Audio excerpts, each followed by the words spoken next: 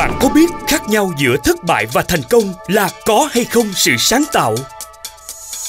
Phải sáng tạo để thành công. Thấu hiểu điều đó nên tôi khác biệt. Được sinh ra từ rừng sâu, núi cao. Tôi được tuyển chọn từ những hạt cà phê tốt nhất từ năm 1857. Với siêu công nghệ, sản xuất trong điều kiện âm 40 độ C, cùng bí quyết phương Đông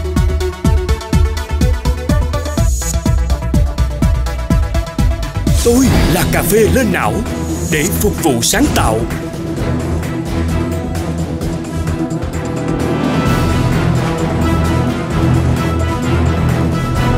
Muốn sáng tạo, hãy chọn Trung Nguyên.